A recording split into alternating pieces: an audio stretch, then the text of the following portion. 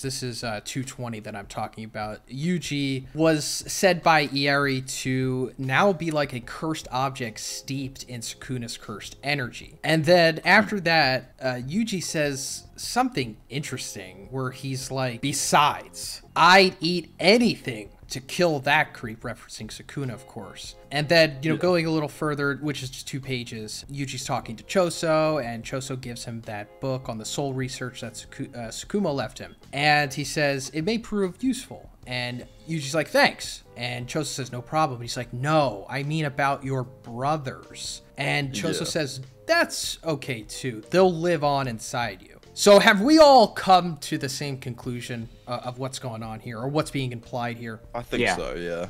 Yeah, UG8 Yuji ate the remaining brothers, right? Is that most the, likely? That yeah, like I personally think Kechizu weren't there, but the other ones are all probably inside of him. Is what I'm suspecting. I personally think we need a little bit more confirmation because I, I don't know now. Not to not to give Viz any props, especially what happened this week uh, this week, but the translation, depending on where you read it, was a little off. Depending on where you read it, it is very vague in my opinion. So I'm I'm very willing to believe that he did eat them, but I'm also very willing to believe that who knows because how did Choso not only get Yuki's book, but he was also to get all those death paintings out before the black hole destroyed the entire tomb and survived. I don't know. Yeah, Like, I- he had Yeah, when they were going you to the first got warehouse. back room. Yeah, yeah, yeah. Bef- when uh before everything had started, they they went to that warehouse and where Maki was going also, and Choso was like, you know, you guys go ahead, and we just saw him walk up to like that uh, garage-looking place. Garage thing. Yeah, and we didn't we didn't see what he did, but it was implied that he got the rest of the death paintings. Now, now, where was he storing them when he was getting destroyed by Kenjaku? That's another story. Where was he storing the back of the prison realm? It, you know, it, it's it's fine. Yeah, no. He's got a bag of something, you know, some Harry Potter bag that's got like a tent and something else. So who knows, you know? The pocket dimension. yeah, yeah. So also, before we go further, we actually may have been teased that this was happening, not just in this chapter, but also uh, Gege talks about this in a fan book question, which is interesting because it's like, was he genuinely asked this, or was this like a planted question? So it's the sixth question under Yuji's profile in the fan book. Gege's being asked, like, what happens if Yuji, who is resistant to curses, eats a death painting wound? And Gege's answer was either the death painting wound will become something like Sukuna's current state, or the death painting womb itself will disappear and become cursed energy within Yuji. And if Yuji ingests it uh-huh. after he is already a host for Sukuna, the death painting wound will just be obliterated by him. So obviously he's not a part of Sukuna anymore, so it seems like the former hmm. is happening here. Wow, Gege, spoilers, dude. yeah, I know, right? Like, what are you doing? This was probably like three years ago as well. eh? Like, ago. That's so crazy. But yeah, no, Zhoniin, you're completely right. I feel like honestly that would be the selling point to me where it says that this is something that Gege's been building for uh, building towards for a while, if that is the case. Especially because it's so clearly laid out in the chapter. I love when Gege does this because it makes stuff like this like undeniable, where he specifically laid it out to where uh, Shoko says that Yuji is essentially a cursed object bathed in Sukuna's cursed energy and Gege just laid out in that interview that if that was the case, he'd be the death paintings would literally just disseminate and just become cursed energy boost for him. So it's right there. Oh, also, uh, That's the- like what if they're strong enough seven. to become like Sukuna inside of them, you know. So you could have a bunch of them chilling. That's where my theory comes from, where you have just them all chilling out as the boys inside of Yuji and stuff. But you know, like who knows? Who knows what could happen there? is that where that pseudo flashback came from, where he's like at the Yeah, yeah, we- table? Yeah, like, and you got like the Junpei stuff from season one. I know like they're all passed on people, but whenever they pass on, they go to this picnic realm area or something. You know, like, The picnic so, yeah. So who knows what's going on? But I like to think that maybe there's some weird realm where you can communicate with them and all. You know, like it's anime. Who knows what can happen? But yeah. Um, I kind of have like a, a question for you guys. Like, it, it does say, okay, so eating these like death painting wounds, it would like increase Yuji's cursed energy reserves. So do you guys think he'll gain a cursed technique, or is is his whole shtick just like full physical brawler, and now he has like the amped up cursed energy?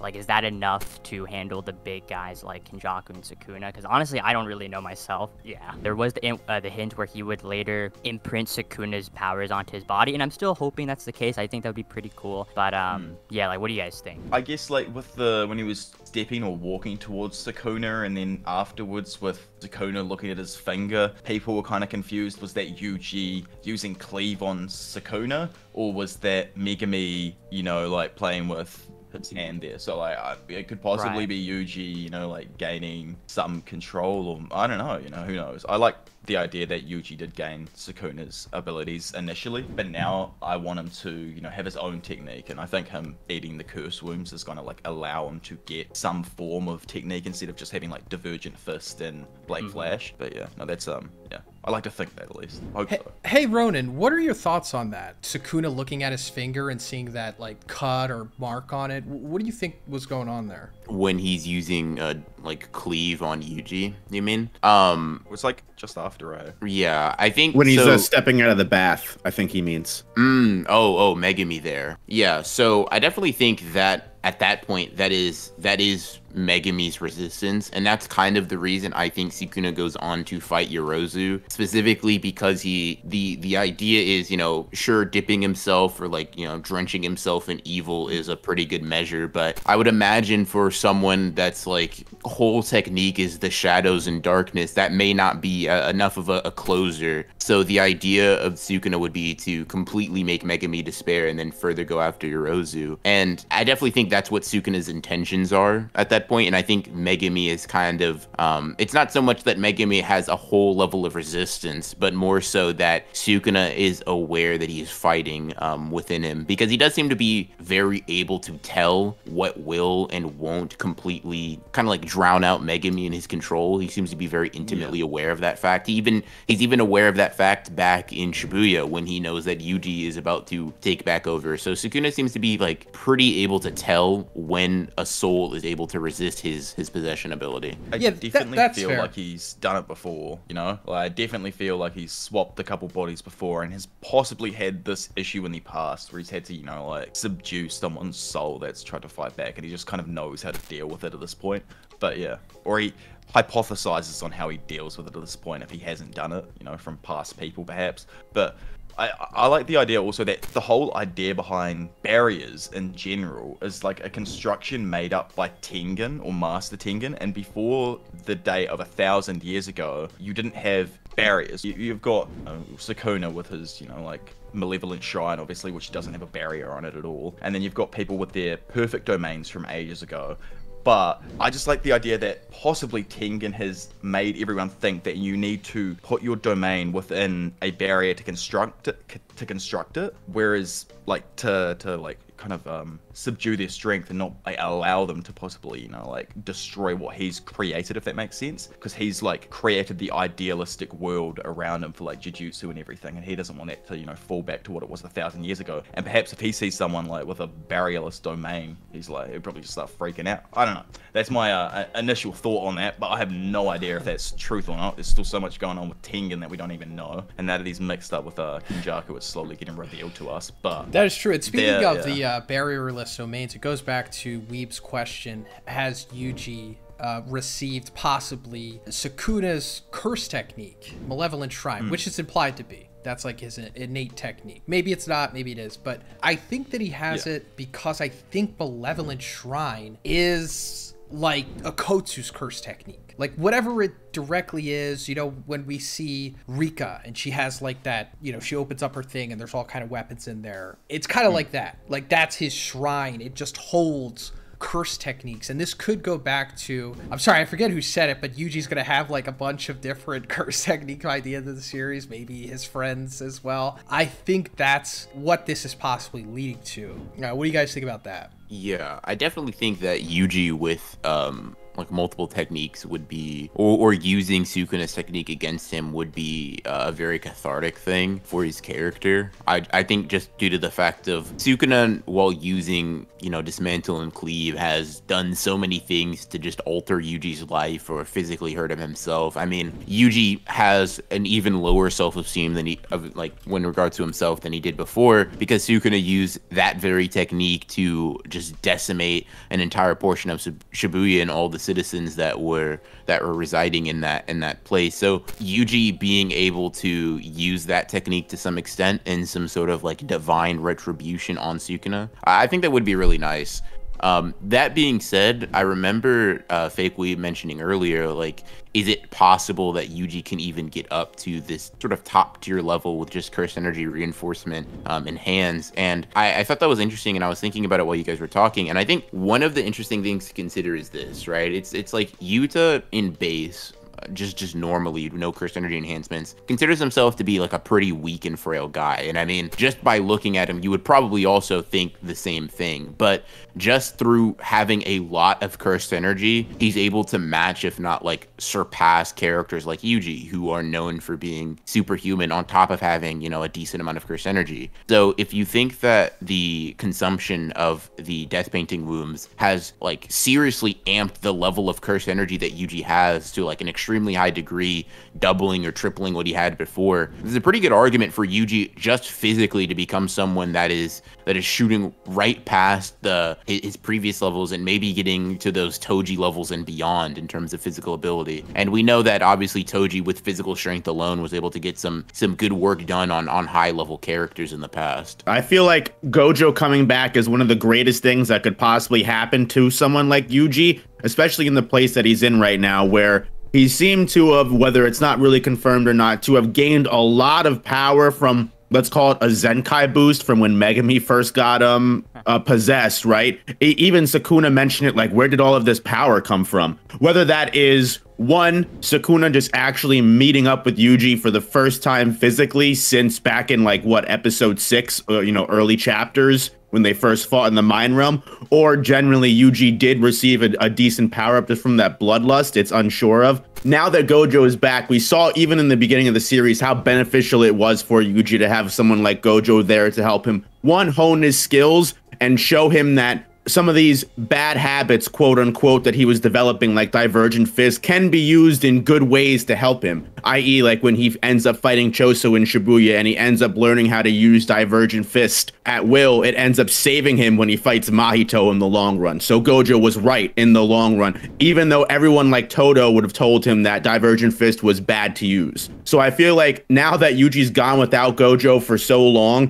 Gojo can kind of come back and be like, all right, these are your flaws and I'm taking all of the gloves off and I'm going to show you what it means to be a real sorcerer. And if that means I'm going to have to awaken your curse technique, techniques, I feel like Gojo being back is going to be so critical to Yuji getting to this level that we're speaking about in order to actually hold some weight in this just all out war that we're going to get on, on Christmas yeah. Eve because because he's got to hold his own in some manner against like Sukuna-Gedo or, or against you know like Kenjaku. So yeah, he's he's gotta gotta get way stronger. And even though he's gonna have everyone else with him, it's still like Uraume, for example, was able to stop you know Maki and Yuji from just being able to catch up to Sukuna. So it's like they need to get strong stronger. It's just uh, yeah, they need this month right now, and they need Gojo to kind of like lead them out. They don't have Masamichi, they don't really have Gakugan, they don't have any of the teachers anymore. You know, like it's all everyone's gone. He's the only one that can kind of, I guess, guide them down the correct path, which hopefully he will. Yeah. Um. One more thing too is that we know Sukuna has some sort of like dominion or special correlation with soul. So the the fact that like Choso gave Yuji Yuki's research on the soul in that book, likely having in-depth and detailed information on humans, cursed energy and stuff, I do think that book will be the key to Yuji maybe learning something about the soul and defeating Sukuna because I'm pretty sure in that panel Choso does say that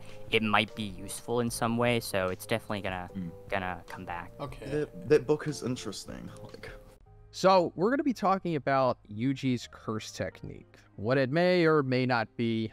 A lot of discussion on this, and it seems like, judging off of you know what we saw when he was training, it could be soul swapping or something. I mean, at least just right now, it seems like if he does have some kind of curse technique or ability, that's what it is. He can swap souls with someone or swap bodies to some extent. And it's possible that maybe this always was his ability, and that is why Kenjaku used him as a vessel for Sukuna because he has that ability. Therefore, Sukuna can't just have full reign over him because we've seen that when other sorcerers reincarnate, they don't have the same kind of relationship that Yuji and Sukuna have.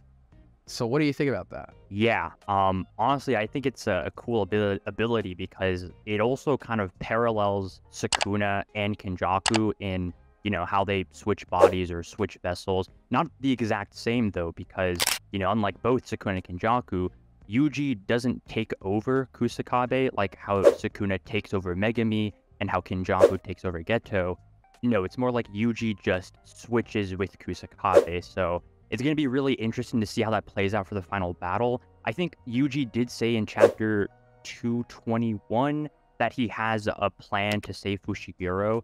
So assuming that he had already learned of that switching ability from the moment, then it could definitely correlate to, hey, maybe somehow it helps Megumi regains his own soul. Maybe Yuji switches with Megumi or something. I honestly don't know because there's not much uh, details of how the switching actually works, but it would make sense narratively, right? In the beginning, it was Megumi who saved Yuji and allowed him to live because he was a good person in his own judgment. So now, this time, it's Yuji's turn to save Megumi, and it's even more ironic that they're both needing to be saved from the same person, Sukuna, being the problem. So yeah, that's the thing, right? The way in which he swaps. So we know that the way Kenjaku swaps, he's just going to use the curse energy that the person on the body has, which is why he got a special grade body with Geto.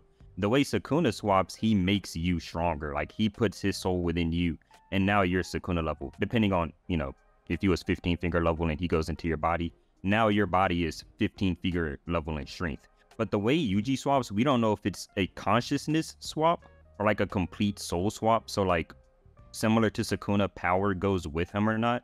And it's sort of like if you've ever seen Dragon Ball when Captain Ginyu swapped with Goku. Captain Ginyu swapped with Goku and he was just stuck in a Goku body that was super strong. And Goku was in Captain Ginyu's body who was super weak. So they were screwed. But if Yuji swaps and like the power goes with them, then it sort of defeats the purpose in swapping. But because the idea is that you want Yuji to go swap with Sukuna so that Sukuna is in a weak Yuji body, at least that's what I think the buildup is. You give Yuji the swap technique, then you go swap Sukuna to Yuji's body again. But this time, Sukuna doesn't have all of the power. That would happen if it's a consciousness swap. But if it's like a complete soul swap, then it's a good chance that once they swap, all the Sukuna power just goes back to Yuji's body. It's all about whether it's just a consciousness swap or a soul swap, which we don't know yet. Yeah, uh, I mean, like, it, it would be crazy, right? If Yuji can actually learn the strengths, techniques, and abilities within the body he's in.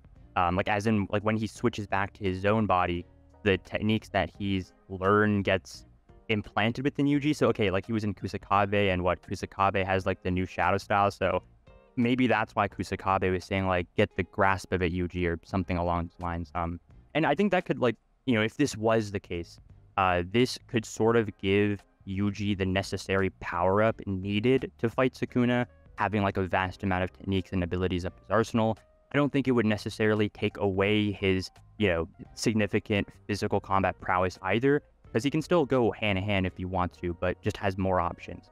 Um, but yeah, no, that's that's my thoughts on Yuji's power up. Um, the interesting thing about Yuji is that Kenjaku never lied when he said that Yuji is a vessel. He is the most powerful vessel alive. He can eat anything. It took a spirit as strong as Sukuna's to not get obliterated instantly. Because Gege stated that once he eats anything that's like a normal curse object, if it's not as strong as something like Sukuna, he just gains power from it. He obliterates the essence inside and absorbs curse energy. So pretty much what you have now is this guy that is free of Sukuna, can eat anything, and can gain pretty much exponential power. Whether or not the actual technique from Kusakabe is unique to Kusakabe or something new from Yuji, I expect something with the soul either way. Because as we go more into JJK, the soul keeps coming up more and more, and now we have like a book on it and all this other stuff. Yeah, that's what makes me think, at least, that this has something to do with the soul, because it's brought up in chapter 220 uh, after we see Choso give Yuji uh, Tsukumo's notes or research. He says records of soul research that Tsukumo left along with the back of the prison realm. Gives it purposely to Yuji, says that it may prove useful. So I assume it has something to do with the soul because, like you said, you know, the soul keeps coming up more and more. Uh, also, another interesting thing that's said in the previous page to this in 220 is that uh, Yuji says that Ieiri said, I'm now like a cursed object steeped in Sukuna's cursed energy. So, does that give more credence to the fact that he is like just be able to swap with anybody, essentially? Um, and, and also, you know, it goes back to the, the beginning of the series uh, where Gojo said that in time your body will learn Sukuna's curse technique. So, I like that. Uh, what we were talking about earlier how, you know, if you go into his body, then he learns your curse technique and then he comes back to it and now he has it. And now, I don't know, he has like multiple curse techniques or something, which is still fringe because of what uh, Kenjaku said about the brain being able to only handle so much. But Yuji is a beast, as we just said. So maybe he's uh, above that rule, possibly. But I guess actually, Zhoniin, to add on what you were saying, it just reminded me. So yeah, like when Gojo said that Yuji was gonna inherit Sukuna's techniques one day, I'm just thinking like, wait, but how would Gojo know that, or how would Gojo know that? How do how would we know? And I'm thinking maybe it's like his sixth eyes because we know, um, in the past arc, his sixth eyes was able to figure out how that paper bagman's curse technique exactly worked, just like upon looking at him. So it does like further help the theory that yeah, the body he does uh, the body he does switch to and then comes back to his own body, he does keep those techniques once learned. Yeah, and to add on to what Fake Weeb was saying, it actually is just stated in a Q&A that the Six Eyes can see through curse techniques and like learn the interest. And to add on to what Fake Weeb was saying, it is stated in a Q&A that the Six Eyes can just see through curse techniques and just learn all of the intricacies. So it just leaves more credence to what Fake Weeb was saying. Yeah, that's um that is interesting because it is very likely that he was able to see that Yuji could do that, but then also doesn't he tell Yuji that like he doesn't have a curse technique? Yeah, he does. So it's Well, like, yeah. Yeah, no, it's weird. Maybe like he was uh, directly referring to like Yuji doesn't ah. I don't know, like he doesn't ha- really have an innate technique, but uh, yeah, I honestly don't know. It, it's really confusing. Yeah, I Well- know. It's like either it's like suppressed or something and he can't see it with the six eyes somehow. I don't, what were you going to say, uh, Shinobi? Whether or not he can actually see the full curse technique, it did seem like when Megumi knew that the cursed object could incarnate, so I doubt that Sukuna is the only sorcerer in history to have incarnated before, and they generally know that, okay, once somebody incarnates, maybe somebody got a curse technique in the past. That is possible. Um, you know, Yuji is down for the count at this point because in the last chapter, like after Sukuna separated from him and put himself into like his pinky and you know went to Megumi, he leveled Yuji. Like, I guess this is like the most serious strike he's ever taken in the series. Like in this panel, it looks like he's like going through his torso.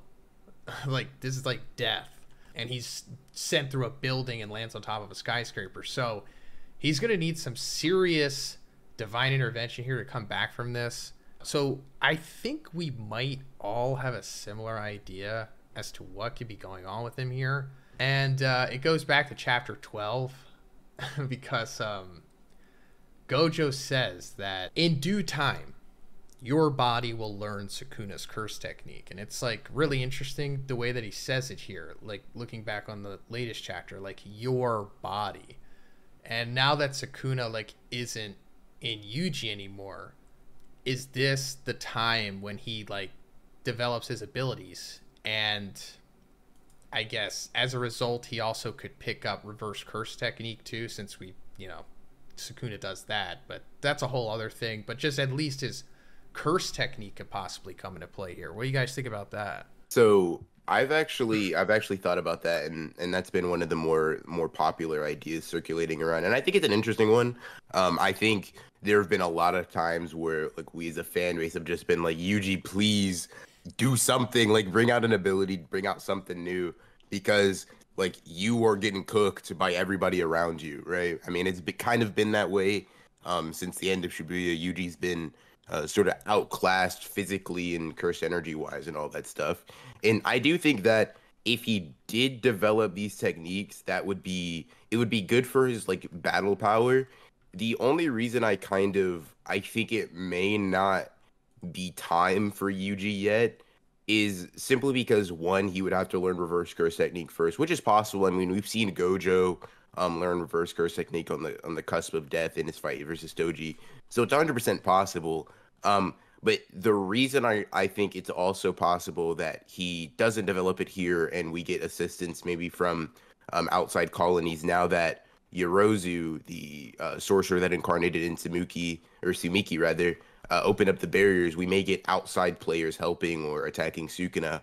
But the reason I think Yuji may not come into play with the technique here is simply because I don't think it changes much of how the fight goes. Like I think the moment Yuji will come in here and really like have his technique or have a technique or something to play around with is personally because I think that will be like a fight changer, right? Like before the before the technique he's losing and he can't he there's no matter what he do or what he does he can't win. But after the technique he'd be able to not not so much as dominate his opponent but it would be like pre-awakening gojo versus toji versus post-awakening gojo versus toji.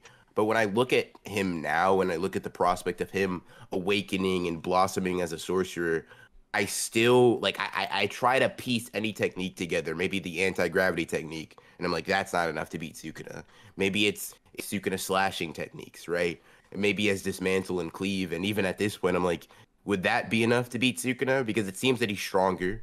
It seems that Sukuna's stronger and faster. He now has more variety and versatility. He's more intelligent. I feel like we need characters that have the experience to deal with what Sukuna's got at this point in time. I'm open to other ideas, obviously, and we're we're going to see in these next few chapters whether or not Yuji's going to be making a move. Um, but I, I, I really wonder if Yuji's going to be able to bounce back quickly enough to develop a technique and then be a useful component in a fight against Sukuna. Yeah, I mean, I, I love uh, kind of what you said, Ronin, uh, where kind of we all know at this point that Yuji needs some kind of power up. He needs some kind of awakening, and if uh, you know, if there wasn't a, a better time for it, then now is. Um, I mean, one thing that I've also kind of considered, because in my opinion, and you guys can check me if you think I'm wrong or if you have any kind of different viewpoints, but I feel like even though we were told that Yuji will eventually adapt and grow into Sukuna's curse technique, whether it be, like Ronan said, the chef technique, or it even be something like his mom's curse technique, like the anti gravity. Um, I feel like one thing I kind of view is even if Yuji was to develop the slashing technique, I personally don't think he would use it just based off the trauma he has surrounding the entire event that Sukuna, you know, basically destroyed an entire city with it.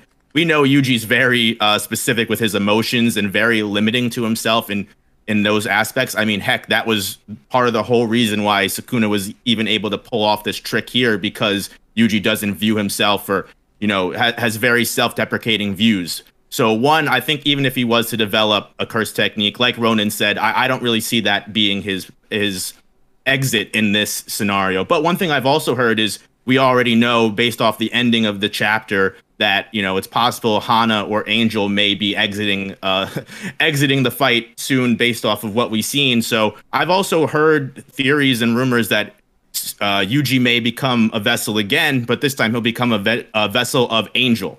Um, I don't know what you guys think of that, or if you guys have any other uh, opinions on Yuji, but mm, I I think like Yuji right now, um, like kind of Zhoniin said earlier, you can see like the punch kind of going through his his stomach, and blood is literally splatting from his back. So that implies that yeah, the punch went through. He has an anime donut hole. So yeah, like outs outside colonies someone could come up. Really, Yuta, I think, is like the only option, and, and some others, but I don't think Kashimo or anyone else would heal Yuji. Um, either him or if it's not Yuta, then it's got to be himself unlocking reverse curse technique, going through some sort of awakening or enlightening moment, and be, like another aspect to I guess characters going through awakening, like Gojo, Maki, etc., is that their mentality sort of changes as well. Um, with Gojo in the Toji fight, when we first saw him like feel the core of cursed energy and unlock reverse curse technique, he was he was in like this transcendent state, saying like, uh, I can't remember, but it was like, oh, sorry, Amanai, I'm not angry for you, nor do I feel vengeful toward anyone. Um, and from that quote, plus like the visual representation of him floating in the sky and actually feeling free, it showed that Gojo had truly released all his past sufferings and thus being able to tap into the core of cursed energy. And we've seen like that similar um, a mindset change happen with Megumi, you know, needing to be more selfish, and then Maki with her sumo wrestle, and I think Choso as well. So, given that Yuji's on the brink of death or is dead, but with the pretense of eventually coming back, then yeah, there's no better time to have an enlightening moment after this whole Sukuna stuff dies down, if it dies down. But I, I don't see Yuji waking up the next chapter and, you know, him fighting Sukuna. What the true big three of this series is. So when I say big three, it's kind of become like a trope in the battle battle manga as of late. I don't know if it necessarily started with Naruto, but since then a lot of series have been kind of going with that flow. You know, you have like the three main characters. You have like Naruto, Sasuke, and Sakura. And in JJK, we thought, for the most part, it was going to be Yuji, Nobara, and Megumi. But now, it doesn't really seem that way because you know we talked about it in our you know our first collab that Megumi, a lot of death flags. It, like we're not surprised if he dies at this point. And Nobara, she might be dead already. Still, no one knows. I don't even know if Gege knows, but Nobara not in the picture anymore, and it makes me think like another thing that we were talking about, um, how Gege subverts tropes. Uh, we were talking about how you know if you would have said you know Yuji's not going to kill Mahito in chapter 132, that's like not going to happen. It's actually going to be Kenjaku that comes over. So is something similar happening in this series where we only see what the true big three is in the final arc of it, which is probably going to be Yuji, uh, Okkotsu, and Maki. What do you think about that? Probably, yeah. Yeah, I think so. But something I've always wondered the entire series are there any other families, like big families, that kind of just got pushed to the side? We got the big three families, you know, like talking about big three. Did any of these big three families in the in the past get taken over by per se another family. It's just an idea as well, but yeah. I'll, I'll go back to the to the main question. I think yeah, the the big three from the series from now on is going to be Yuji, Yuta, and Maki. That's what I think are our uh, our big three personally. Because also we had Okkotsu straight up saying that he is going to kill Kenjaku. So I'm thinking like, yeah. you know, we have obviously Yuji versus Sukuna, and now we have Kenjaku versus Okkotsu, and then I guess Maki hmm. versus Urarame. yeah, I, I, don't know. Maki kind of there, just flying around helping everyone out. You know, doing her thing. She's just moving at Mach three speeds across the battle, just helping everyone out. So this is a little crazy, a little off the wall, a little head cannony, but it's something that I was kind of speaking with uh, uh, with my chat the other day, and uh, Dia Diavolo kind of sparked it in my brain, and I kind of want to see what you guys think about it. Um, so going with the big three, I definitely agree that um, uh, Jujutsu Kaisen, as Gege really wanted it to be, was a complete, you know, destruction of the big three characters. You know, that trope where there's two guys, a girl, and they have a sensei, and that's the main main group of characters that we kind of finish with. Clearly, as we all mentioned, that's not going to be the case. Um, but in in the history of Jujutsu Kaisen, we have a lot of big threes. We have the three families that survived in the Jujutsu Society, and also we know we have the three vengeful spirits that kind of started everything back in the day. Now, Kenjaku, Sukuna, Urarame, while they're all threatening, Urarame maybe not so much as others after what happened with Gojo.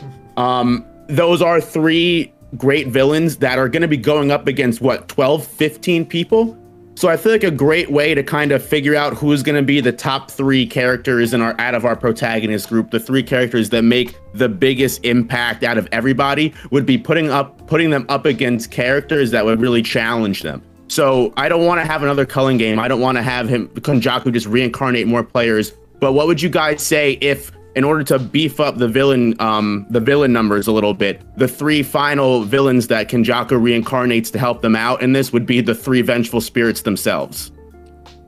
Ooh. Yeah, I, like possibly has he even got them under his control? I don't know if he could do that with Geto's technique, but like eh, you know, like maybe he drops them along with like all of his curse spirits to just be a nuisance. Well, I feel I I feel like that would be a great way to like make the big three like Maki, Okkotsu, and Yuji would get a big fight because we know like Kenjaku would be a great fight against Yuta. Do we really think Yuta's gonna beat Kenjaku though? Maybe not. I don't know what you guys think about that, but uh, I feel like if we really want a lot of uh, these final group of characters to have a big moment, having only three villains to have them with makes it kind of rough to do that. Yeah. Yeah. No, you're you're right. We do have like a huge lineup of good guys and um like only or three guys on the villain side, Oh. Jaku and So it's going to be really interesting interesting to see how like these final battles will play out from here because while I do think like Gojo and Sukuna, they're for sure they're gonna get a one v one. It just has to happen. Um, I don't also think that like that necessarily means Sukuna will only fight Gojo, like either before or after they have their grand fight. You know, assuming Sukuna defeats Gojo or whatnot. I think we can still see like a combination of matchups like Yuta and Maki and Hakari against Sukuna, or just like a, a combination of characters against one person. Um, because like, kind of like we discussed earlier, I do believe Yuji has to play a major role in Sukuna's defeat if he gets defeated. So, yeah, like with a bunch of characters we got on the good side, uh, we can definitely expect maybe like a 3v1 or more type of battle. Yeah, I- I, mean, uh, one thing, JJK Oh, go ahead. Sorry. Are you like hundred percent? Like we all forgot. This has got to happen. Kenjaku will release Mahito back. Hundred percent. Like I don't even know why. Like this has skipped my mind, but hundred percent he's gonna drop Mahito back for Yuji to go ham on. That that that will be a fight. Like surely, that becomes a battle in this final battle here. He brings him out as his like overpowered hyper killing form or whatever he's in, and just lets him go ham throughout the battlefield because he's still a threat, especially with his um you know like soul manipulation. Or can he bring him out after using item like transformation? As much as I love Mahito, I think it was confirmed that like Uzumaki is like does destroy like all the curses when they're used, and like idle transfiguration. I think it was confirmed Kenjaku was only able to use it that one time it too. Once. Yeah. Yeah. yeah. Yeah. Yeah. That's why I was wondering, like, could he bring him back? But yeah, no, good point. Good point. Maybe I'm. I would love that. I would, I would, I would not be. You know, it's one of those things where like we can all get be like, oh, I would hate if like he just brought back a character for no reason. But you know what? I feel like Mahito is a great exception to that. But uh, we'll let everybody yeah, else talk. we'll get off this tangent. See Mahito come back would be really cool. Yeah. Um, I do think though one of the one of the big things is you know we talk about big moments and we talk about needing those those one v ones or more villains and well I think some more antagonist would be nice to sort of see go up against um go up against our our, our heroes or whatever. I think like a, a, a big part of what JJK has been about fight wise is uh, not running the ones, uh, being completely unfair in regards to that. I mean, Yuji and Todo is a pretty is a pretty like famous duo for jumping, right? They obviously jumped Hanami, they jumped Mahito. I mean, Hanami went up against like multiple groups of people. First, it was like Inumaki, Megumi, and Kamo. Then it was Maki and Megumi. Then it was Todo and Yuji, right? I think it's very, very possible that each character just gets jumped and the focus is going to be on those like those group battles if you will right? Maybe outside of mm. gojo versus sukuna or maybe you have some like some support in the background with some other strong characters. I could see someone being eliminated from the sort of like group effort in kashimo. I feel like kashimo has no interest in synergizing with everybody else. I feel like it's very possible that he's going to be like a month I'm not waiting a month to fight Sukuna. We're throwing him. Tell me where he is. I'm going to fight him right now. I'm gonna uh, like I'm getting this done. You guys do whatever you do, and then I could see Kashimo like making an exit from the story that way. Personally, um, getting rid of um, like not only handling his story in a way that I think it makes sense for his character, but also sort of thinning the herd of powerful char- characters we have going up against Sukuna, Kenjaku, and Arame. Um, that being said, though, I definitely think Kenjaku can be jumped by a decent amount of people just because curse spirit manipulation, um, like, kind of allows for Kenjaku to be jumped without being overwhelmed physically. If he releases, Hmm. like, if, if he's been over time gathering a similar amount of curses that Geto did in Volume Zero, he could have hundreds to thousands of cursed spirits at his disposal. And we saw what, like, a swarm of low level curses did to Choso. So it's not really impossible or even, like, um, not feasible for him to be able to handle a bunch of characters at once. Then you factor in Arame, Sukuna, and all of that stuff. Yeah. We know Kenjaku's gone around getting more curses. Like he got a deity from a different country, like a deity curse from a different country. So uh, he's definitely got some stuff for sure. So I, yeah, I can't wait to see what he actually has. It'd be interesting. Your thoughts on that, uh, Weeb, if you had any? Yeah. Um. Sorry, I kind of want to go back to the. Uh, what was it the the, the big three? Oh, Uh, uh, please, like while you please. guys were talking, I was just kind of like thinking about it. Honestly, it is like really sad when I think, man, like it's not Yuji, Megumi, and Nobara anymore. It's like you said, likely gonna be Yuji, Yuta, and Maki. But like you know what, like I, I- since like you guys already said it, it's it's that I'm gonna have like a different opinion, and I'll just say I still believe um Yuji, Maki, and Megumi will still be the big three. Like I don't know, I'm just kind of thinking of um that scene in Naruto where because like you know how Sasuke was away for most of the story and well well he was still considered the big three and then they all kind of joined up in the war arc so I don't know I mean I know that sounds too happy for Jujutsu Kaisen but, man a trio reun- uh, reunion I'm hoping for that I, I mean, Oh, yeah, I would yeah, we all, to see Nobara back. yeah, we all want it for sure. Nobara, if she does come back, you know, would probably have a similar effect as Gojo on the internet. Not as big, but definitely Yeah. viral worthy. But we were also running into the issue, which I agree with, is that there's not enough villains to go around. And that's very true. And I would love if the big three vengeful spirits came back because they've been talked about enough for me to think that they eventually have to come into play, and I hope they do. But what if we have already seen what everyone's opponent could be, or just a big thing that everyone can face in lieu of having these big foretold 1v1s, which may or may not happen?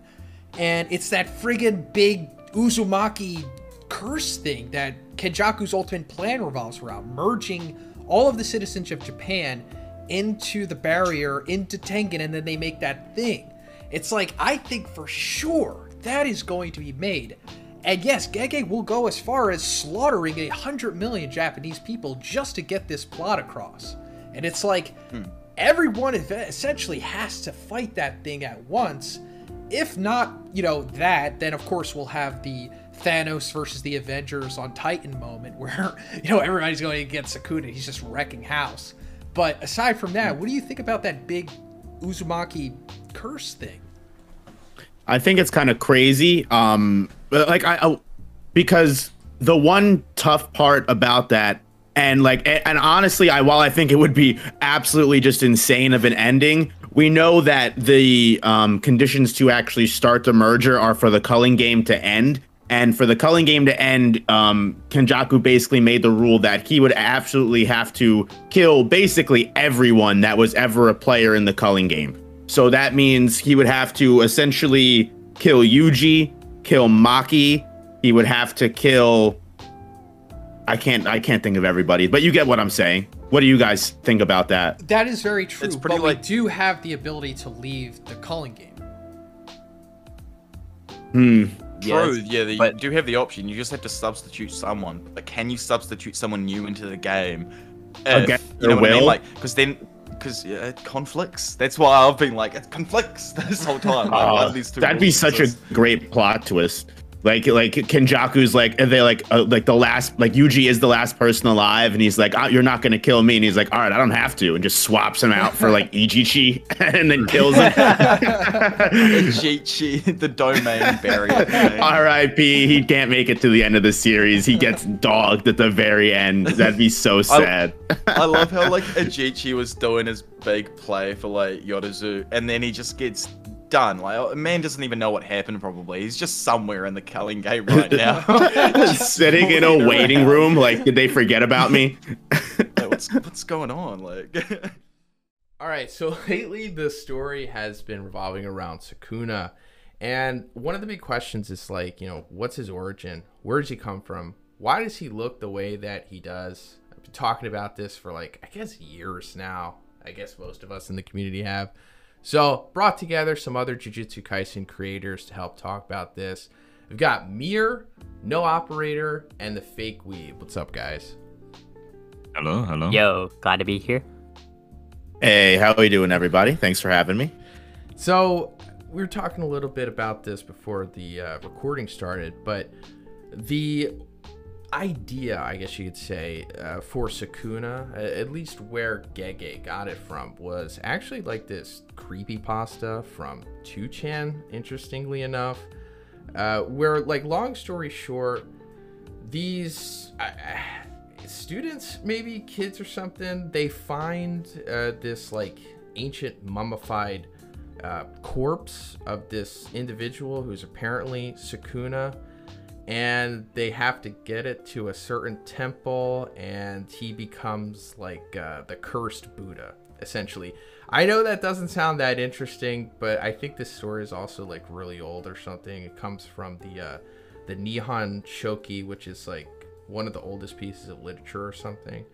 Um, don't quote me on that but that's basically the long and the short of it another super interesting thing that i really didn't pick up on uh, until I saw this recently was that uh, on like the cover of chapter one of Jujutsu Kaisen, in the background here, you see like that mummy with the Kenjaku looking clothes on. Um, this, you know, it's not confirmed that it's Sukuna, but I think this is like supposed to represent the original um, folklore around Sukuna. Um, because like, what is this thing? You know, you never see it right? We never see this in the series, as far as I know. I mean, Mhm. if Yeah. it's for all I know, like it is something uh, that Gege could be foreshadowing to, or just uh, planning to reference later when we, whenever we do get that Heian era flashback that we're definitely, uh, we we have to get right. Um, because if you look at it, one of the foreshadowing, one of the other foreshadowings in this picture is one of uh, Megumi's little Gama Shikigami has Sukuna's markings. So it also wouldn't surprise me.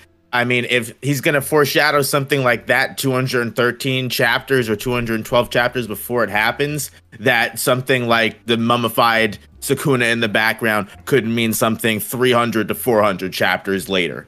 Wow. Yeah, you're blowing my mind. I just realized that now. The frog does have the markings. That's wild. And also, you were saying like him planning it out since the first chapter. Um, Weeb. This is something we talked about like last year. Um, about how about how Gege uh, talked about he had Megumi's like story already planned out ahead of time, and we were wondering like, what does that mean? Does it mean like Megumi's gonna die or something? But it's like, do you think he had this like Sukuna taking him over planned this whole time? Um, Sukuna taking over Megumi's body, I I don't think so because I do remember like when he first met Megami, he wasn't really interested in him until he opened his Ten Shadows technique. So it's very weird how like all this planning and like everything came together because now okay he got the Ten Shadows technique and it's almost as if he planned it from the start. But from what we know, it it wasn't planned. So it's very interesting how I guess like Kenjaku and Sukuna planned everything to come together. I will say this. I definitely think it was planned from the beginning. Uh, I don't know if you guys have heard, but there is a theory it's on um, Reddit as well, where in Japanese tradition, there's this um 10 steps to a reincarnation. I forgot what the exact name is. I think it's like a Buddha 10 steps to reincarnation or something like that. And it is basically going about the same way that the 10 shadows technique is. And the way that the thing works in Japanese tradition is once the final step, like the 10th step, is attained, you get a full reincarnation. And the final and 10th step, if you guys remember, is going to be Mahoraga. He is, and it seems like he's going to do that in the recent chapter. Like he's summoning Mahoraga to tame it, and then we might see like a reincarnation if it follows with the Japanese tradition. Oh, Hmm. wow! Oh, I never heard of Uh, that. yeah. Yeah, I have a friend that has like everything on it. Wow. Probably in my DMs. So like, Yeah, I can he, get that. He would like absorb, or I don't know, or this would be like Mahoraga's secret ability or something? No, no, no. It's like so. It's like once you fulfill all the ten steps, you gain a reincarnation, like in the lore of like this. I don't know what the exact name of it is. I can get the exact name. But once you complete the tenth step, which is Mahoraga, now all the other ones are like the other ten shadows, which are I want to say like weak in comparison, but Mahoraga is like the final like grand step. And once that one has been tamed, then then it's over. Because if you notice, Sukuna's already tamed. The other one's like Divine Dog. You saw he summoned it in the recent chapter. But the only one that he hasn't tamed that's left is Mahoraga. So once he tames Mahoraga, you know, if it lines up with this um, thing that's in Japanese lore, then he would gain the full reincarnation. Oh, okay. So it kind of just happens. Okay, I gotcha. Yeah, yeah, yeah. Interesting. Yeah. I, I mean, we were we actually talked about this in our last collabs. Uh, uh, Sukuna summoning Mahoraga, now it's happening. It's wild. Um, so before I go into like the what seems to be like the popular theory, I guess, or the the lately the most popular theory around like what Sukuna's origin is, just I'm just curious, like, what do you guys think currently of like what his origin is? Because I'll say like when I'm talking about Sukuna and you know what's going on with him, my reviews, before I found out about this brother and twin stuff or whatever that we're gonna be talking about, I assumed that I don't know he was like altering his soul or something like Mahito possibly because you know the soul stuff's coming up more and more. Um, or he's figured out something that like Tengen has because you know he's kind of similar to Tengen, but yet not the same. So I'm just curious, like operator, um, what do you think about Sukuna? Like why he is the way that he is? So, um, as far as Sukuna goes, uh, being born in the Heian era, I was kind of talking about this a little bit um, earlier um, on, on, my own kind of stuff. But uh, so basically, for, in the Heian era, in order to be a sorcerer in, in an era where sorcery was at its peak, thriving, you, in order to survive and just be able to live in that sort of environment, you yourself had to um, be as far as what Sukuna says to Jogo during the Shibuya incident, willing to burn everything to the ground in in you know in in order to get strength, in order to get stronger, and and it's kind of what Uro also says to Yuta when she says that Yuta's reached his peak because he doesn't have that selfish nature to break off and become a calamity. He has still that connection to the to the to the world around him. He's not willing to make that last severance to in order to gain that extra strength and ascend to that level that we see Sukuna at. I mean, as far as what Sukuna's is and what he's been doing, it seems like, and something that I've always thought, especially since we saw him switch into Megumi's body, is that Sukuna's just been body hopping, and it's for uh, for a while now. This clearly isn't the first time that he's done this, and it also seems like it's pretty routine between him and Urame at this point that that they've done this before. Um, I also feel like that's part of the reason why Gege has mentioned that even though Sukuna looks just like Yuji, he has no relationship to Yuji. He's not an ancestor. Yuji's not a descendant of Sukuna, nothing. It makes me think that possibly back in the day, this also may be why Itadori was a perfect cage for Sukuna, that Sukuna may have body hopped into one of Itadori's ancestors back in the day, or something along those lines. It makes me think that Sukuna has just been this whole 20 finger thing, he was sealed.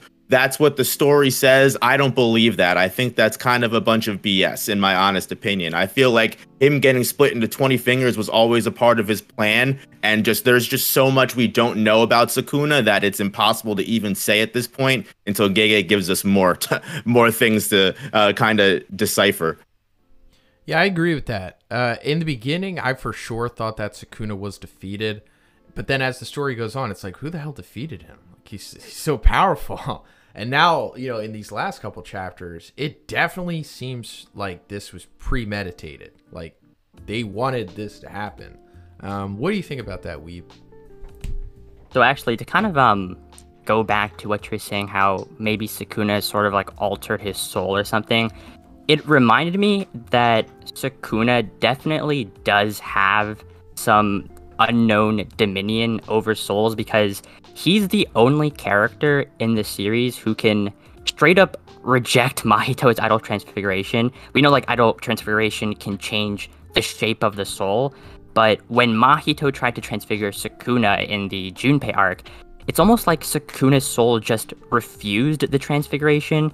Even like the second time when um, when Yuji just broke into Mahito, Mahito's domain, it like automatically made Sukuna to overwhelm the transfiguration because obviously his domain's guaranteed hit is idle transfiguration so it like forced sukuna to defend his his own soul and this time attack Mahito's like he brought him into his innate domain um, so I think that's really interesting how sukuna has that dominance and it probably correlates to how he you know became the king of curses how he's evolved from every other curse I mean, we know Gojo said that he was once a human before.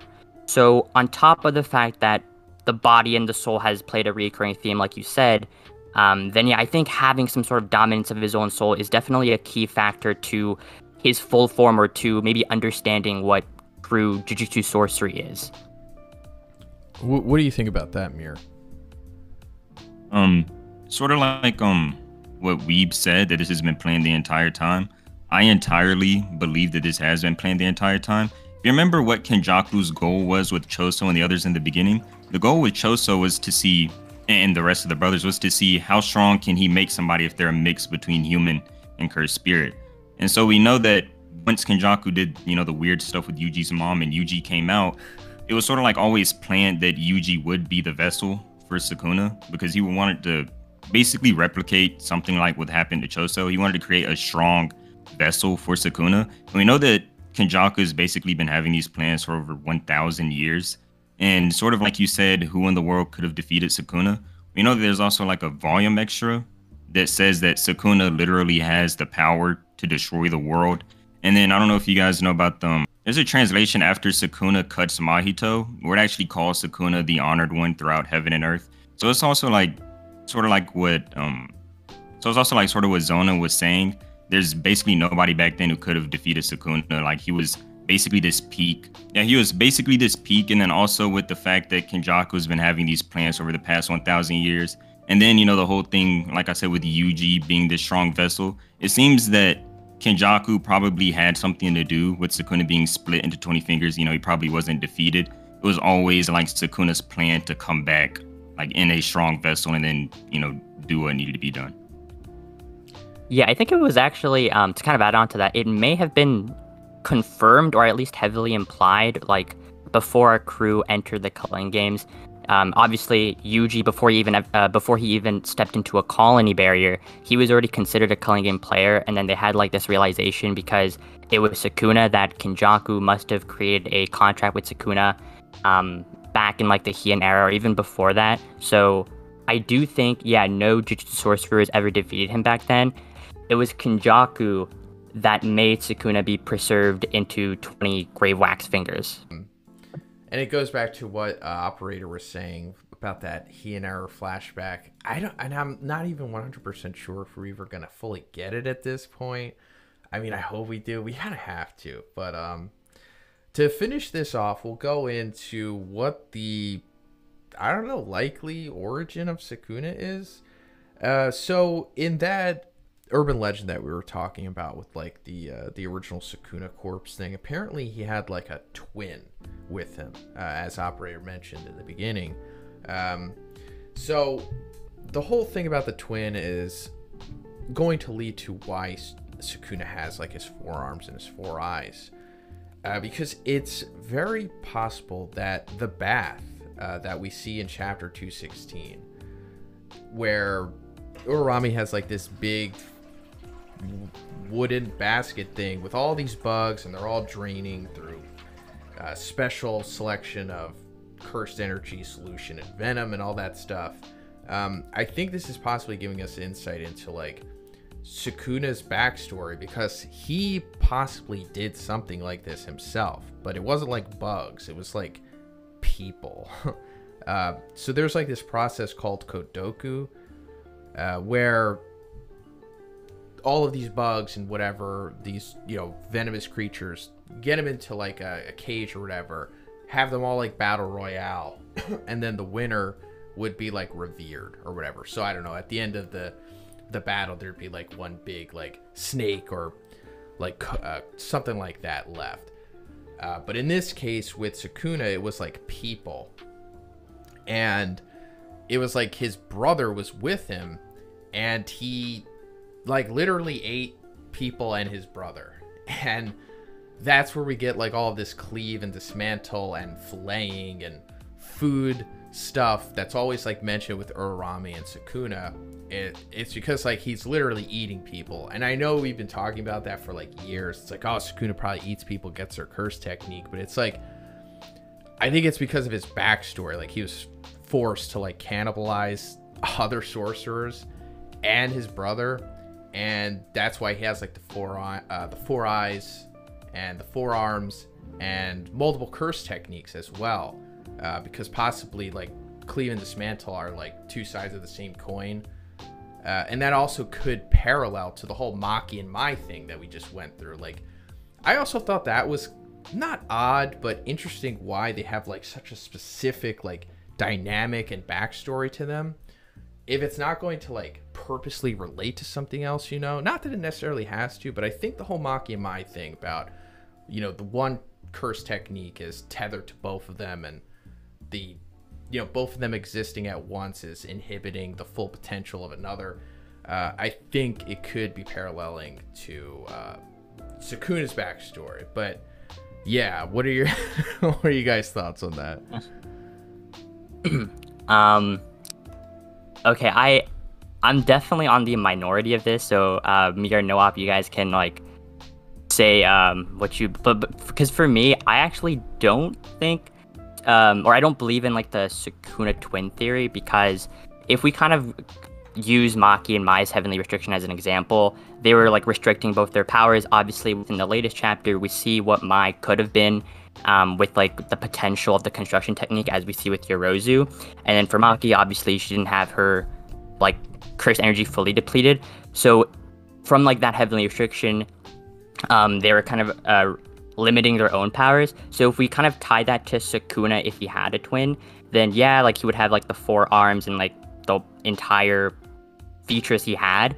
But I think the general consensus is that okay, so with Mai and Maki, since like Mai died, Maki's now like she has like her fully awakened heavenly restriction. So if Sukuna ate his twin, then to me it would be weird how instead of getting like more powerful, he degraded from getting four arms and now he only has two arms. He looks, I guess, less demonic.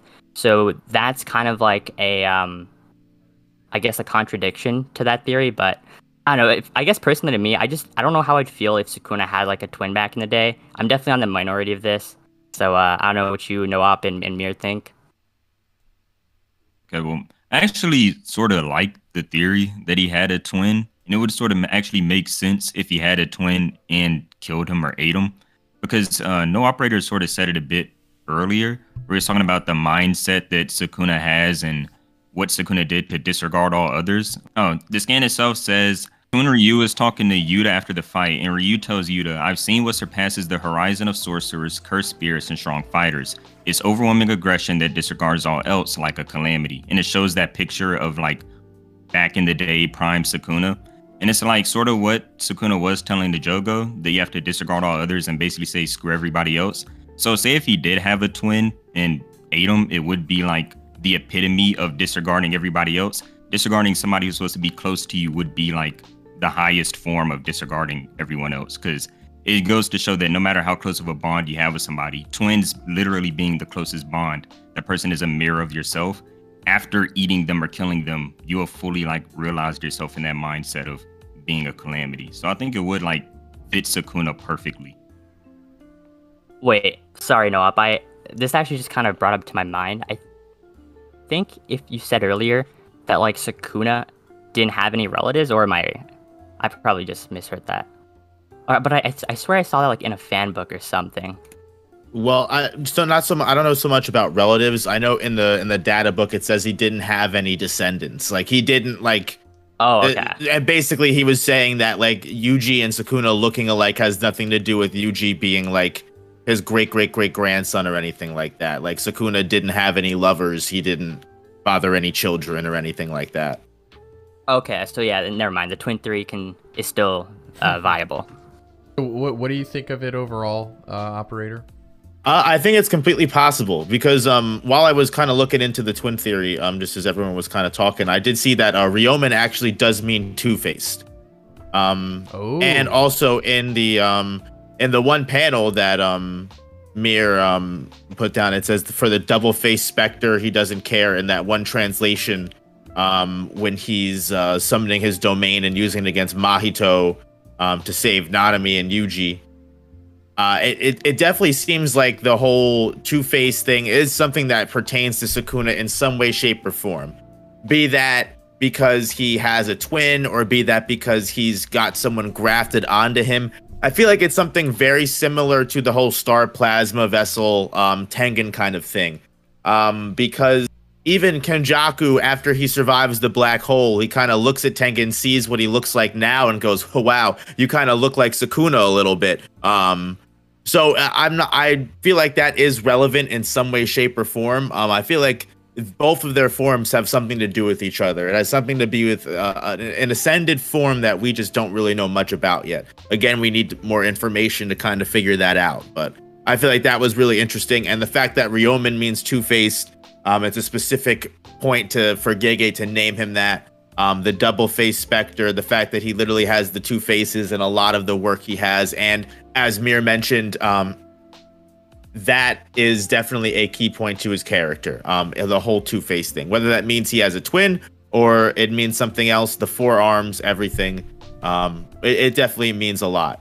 Um, one thing that I thought is really interesting is that um, both uh, Sukuna Megumi and Yorozu Tsumiki are both choosing to stay in their regular sorcerer forms because they claim it is um it's easier to fight sorcerers this way.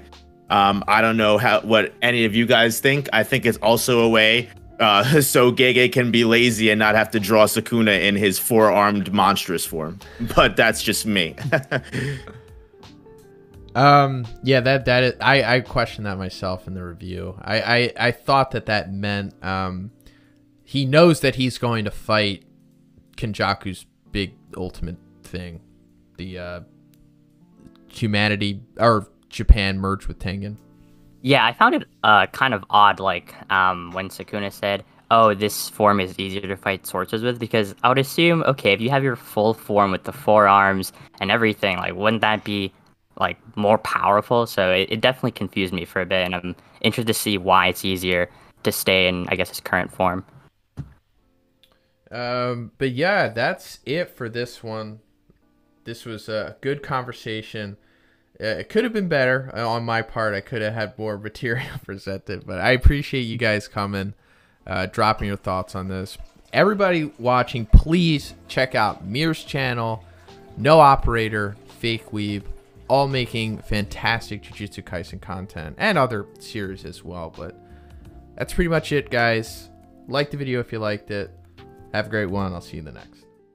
All right, so we're talking about Sukuna's curse technique in this video, and mainly because new information was brought to my attention by Lightning446 on Twitter. Go follow them, they're great. One of the top Jujutsu Kaisen Twitter people or content creators, whatever you want to call them. But apparently, we could be seeing a parallel between Gege's previous work to Jujutsu Kaisen and Sukuna's current ability. So, Gege's first series, or one of his first series, was called Number 9.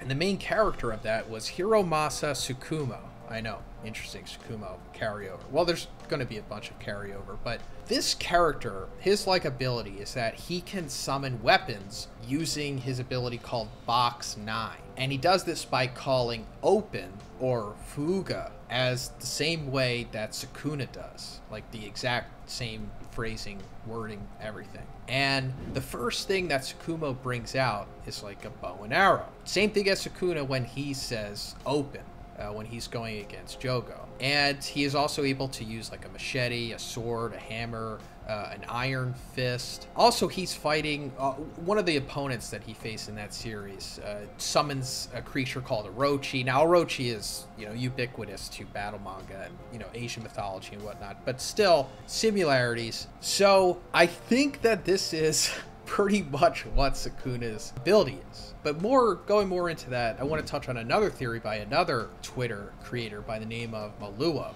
Where they break down Viz's translation better on what Yorozu refers to uh, Sukuna's curse technique as because she says that it is malevolent shrine. But even before that, like when we were looking up the spoilers for that chapter, uh, the spoiler people or Miyamura said that it was just called Shrine. And I thought that was better because, like, oh, that'd be cool if that was just his curse technique and Malevolent Shrine is the domain expansion. But it seems like it is called Shrine. But going deeper into that, it's not necessarily like uh, a holy shrine, like a place you go to to pray or worship, but it's more so like a, a feretory, which is a type of shrine where like holy relics are stored essentially, and it's portable. So that seems like what is applicable to uh, what Sukuna is doing here. His uh, shrine is what his innate ability is, and there's some other stuff about uh, Indra and Ashra and the uh, the Pashupatastra and the Bharata, which is an in, uh, Hindu epic. I'm not good at this, guys. I'm American. You know, we're not good at that stuff. But I think this all makes sense, and uh, it could lead to Sukuna having all of the weapons that we just mentioned, along with a uh, another bow and arrow, uh, which is lightning, not just fire. It, you know, it goes back to when Sukuna originally showed us the flame arrow. Uh, against Jogo, and he says, "Oh, that's right. I thought you'd know about this, but I suppose a cursed spirit wouldn't." You could take that many ways, but I guess it just means that Jogo, either being a cursed spirit, is relatively a new being on Earth, like he hasn't lived as long, but also maybe he wouldn't be able to look into history the way that everyone else can and see you know, if there's any documented evidence of what Sukuna was able to do in the past. Uh, but your thoughts on uh, Sukuna's curse technique possibly being shrine and him having just multiple abilities because of that. And then I'll go more into what could be responsible for him having these multiple abilities. All that was interesting. It, should say that, yeah, Sukuna has some sort of storing type maneuver. And honestly, this just reminded me similar to Rika, uh, and they kind of shared similarities, right? With like Rika being the queen of curses and she stores techniques, uh, uh, Sukuna being the king of curses. So Sukuna could have like an arsenal of tertiary techniques like the fire ability stored within, I guess, like the metaphysical shrine place. Um, and like you said, a malevolent shrine in like the Japanese kanji does translate to demonic territory. And you said feretory is like a container, right? Yeah, portable for Okay. like uh, holy objects. Okay, a container that holds relics for saints. I guess like if we were to tie that into Jujutsu Kaisen, well, saints can easily be replaced for sorcerers and relic, you know, prized possession stuff could tie to like Sukuna's other cursed techniques or tertiary abilities. So this malevolent shrine could overall translate to a container or a portable storing place for Sukuna to well store them. And I think that the design of Malevolent Shrine also helps with that. The dead skull, the huge mouth in the center, or it can, can further convey that this theory where Sukuna, who's already confirmed a cannibal back then, eats and stores the user's technique within his shrine. And to use those techniques, he needs to open this shrine place, just like he did in the fight with Jogo and in the fight with Mahoraga. Yeah, also as well, in the fan book, they give the names. When you look at other characters and what their techniques are, it, it normally has a name for them. But we don't have a name for Sukuna's technique. It just says Sukuna's technique and that it is a slashing hellfire of a slaughter. And then it also says that even though curse techniques commonly only have one characteristic, Sukuna's is confirmed to have at least two, which you can say implies that there's more. And that goes back to like the shrine thing that you guys said. When he said open against Jogo and Jogo was surprised, he said, Oh, I thought you would have known about this. That could be implying that he thought that Jogo should have known about that he can bring out other techniques, or you can say that he just thought Jogo was supposed to know about the fire. But if it's going back to like the shrine thing, like you guys said, a place where you stored things, then that means he was basically saying to Jogo, Oh, I thought that you would have known that I can use other curse techniques. Yeah, no, I, I think at this point, we've probably seen enough to, for sure, like I'm just reading this fan book right now, like we've seen enough to establish that Sukuna's cleave and dismantles, his slashing abilities, are his main base attacks. Because way before, I thought there could be more, but I think that's it. But then, of course, his fire, the fact that he has to say open to unlock said ability, uh, it does make me believe that the storing type maneuver is sort of Sukuna's a second, I guess, technique. I'm curious about the tattoos because we see tattoos like Sukuna's in the Edo period in Japan, and usually they were prison tattoos or at least like convict tattoos. And when he says open, a lot of people think they are equivalent with the tattoos. And the weapons that Sukuna uses generally, like the Pashupatastra that you mentioned, you have things like the Trishula, which is the giant trident that you see him use. And in Hinduism, that's supposed to be this unstoppable weapon that was used by Shiva. So I've always had a theory like maybe that would be used to break infinity, because a lot of foreign weapons in Jujutsu Kaisen, that's what disrupts the technique, like Inverted Spear of Heaven or the Black Whip. It's never something from Japan. Yes, that is true. And I'm, I'm glad we're going more into the cursed uh, tools here because that could be the secret here. Now, honestly, I'm not really sure. I think it could be either Sukuna consuming people, because that's what I thought at the beginning, or it could be him doing something with cursed tools, because that's what we could possibly be seeing. Like cleave, dismantled, they're like blades, and then he has the fire arrow thing. Or when you said about the marks on his body, when he says open, there's like that box next to him, and we see the box on his body. So it could have something to do with some kind of binding vow or just the way that his abilities work. He has to have it on his body for some reason. Also, it's a great way to, you know, denote that Sukuna has taken over somebody. But maybe if it's not eating somebody, because I've also said before that, you know, he could be paralleling uh, like we've said, to Rika, King and Queen of Curses. Uh, apparently, I mean, it's not straight up confirmed, but it's implied that Rika needs to consume blood or the flesh of somebody, and then that's how Kotsu gains their ability. And also, when we saw Rika like open up her whatever she opens up, there's like all those like swords and weapons and stuff in here, which is you know just like what we were talking about with uh, Shrine. But maybe it is him receiving curse tools, maybe because going back to chapter 219, after he kills Yorozu, she gives him one final thing. We don't get to see what it is, but it's implied that she's constructing something. And I think this is supposed to mirror to what happened with Mai and Maki. Like, you know, as Mai was dying, she made the soul cutting sword for Maki. And considering that they both have almost exactly the same curse techniques, or is it the same? I don't know. We'll talk about that later. But uh, Yorozu is constructing something for Sukuna. She says, Here, this is for you. Think of it as me and use it with care. And we don't see Sukuna have anything with him when he's going against Gojo. And she does say shrine. She knows of what Sukuna's ability is. She has history with him. So maybe that's what it is. And like she gave him this thing, which could also go back to the whole Hindu epic thing, because they were gifted the Vajra and uh, that other P word. So what? So what she could be doing is uh, mirroring that as well, and giving him maybe the thing that he needs to defeat Gojo, like you were saying. What can take down Limitless? So what, what do you think about that? While y'all talk about that, I'm gonna try to find. There's something in the fan book about Mai's construction techniques. I'm gonna be looking for that. I'm glad you mentioned the Vajra because there's a lot of hints towards Sukuna being the Susanoo god or the god Susanoo in Japanese mythology within Jujutsu Kaisen, like him fighting Yamato no Orochi, being a harvest ritual deity. Um, I think it's pretty obvious for Japanese readers. I've had some tell me that at least. But him having the Vajra, which was a weapon of Indra, to summon lightning, I mean, I think that's pretty fitting. And most of his weapons seem to be like a divine arsenal contained within this shrine. Yeah, so unfortunately, I haven't done my due diligence on like the whole Japanese mythology stuff, but I am like looking at chapter 219 when uh, Yorozu does supposedly create something with her technique and give it to Sukuna. It does parallel to what Mai and Maki did. The kind of like doubt I'm having is that with Mai and Maki, we did see like the sword spawn in or whatever, like what Mai created in that scene, whereas with Sukuna, I'm like when I'm looking at these panels, I'm thinking, did Yorozu actually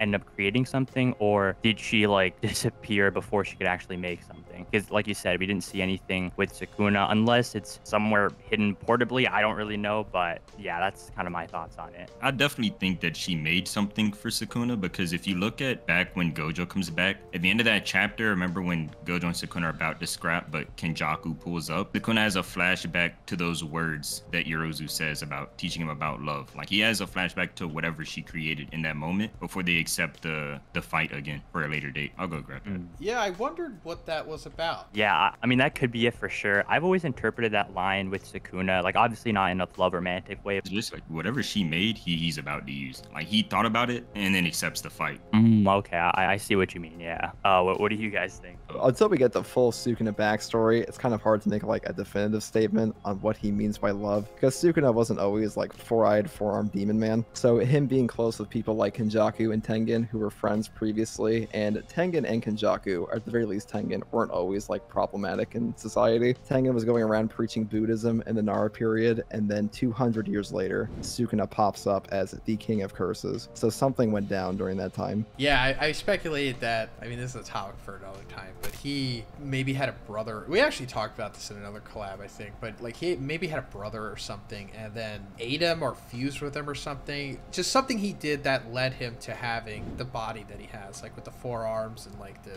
weird face and the four eyes. Whatever he did, like it, it probably had something to do with that uh, ritual, the bath ritual. Uh, but instead of making like a cursed tool, it just made Sukuna the way that he is. And then, then once he successfully did it, he was just the one above all, essentially. I think uh yeah, it says Mai's curse. What does it say Yorozu's curse technique? It says construction because it doesn't have the same curse technique. But they use it in different ways though. I'm like, uh, I'm reading the panel again. So in that chapter, when Gojo and Sukuna has an encounter, and when Sukuna sees Gojo talking about to delay the date for their battle, and he thinks about Yorozu's quote of like, "I have much more to teach you about love and the ultimate strength and the solitude it brings." So, uh, Mir, just to like understand, so you were thinking that oh, Sukuna was gonna use whatever Yorozu's technique uh, or whatever Yeah. Yorozu created back then. Yeah, yeah.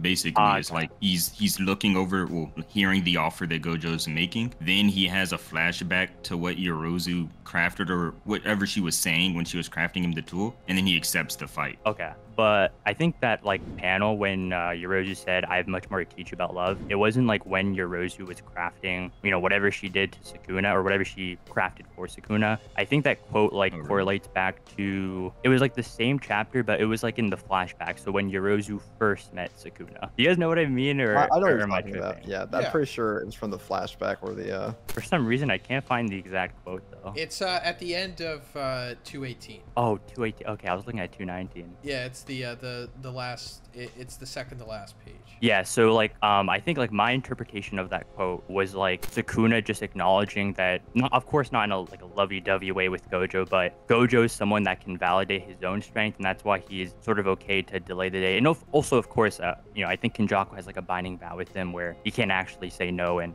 uh, or else something would happen with the binding vow they made. Oh, interesting. Yeah, there there is definitely a lot of binding vows going on that we're not uh, privy to for sure. But I think I, I agree with both of you. I agree with Weeb's take on this because yeah, that statement does mean that for sure. But also him thinking back to what she was saying could be both. It could be remembering what she said and how it relates to Gojo for sure, but also remembering what she did for him at the end of her life and giving him that whatever cursed object, cursed tool. So, yeah, I think it could be both here, but that's going to be it for this one, guys. Thank you to Fake Weeb, Mir, and Quirkless Shinobi for coming by for this week's discussion. Really appreciate it, guys. Yeah, thank you guys. Thank you for having me. Thank you, thank you. yeah, glad to be here. Yeah, always. And uh, subscribe to their channels if you have not already. Don't subscribe to mine. And uh, No, guys, subscribe to Zhoniin. leave some comments, give the video a like, and uh, see you the next one.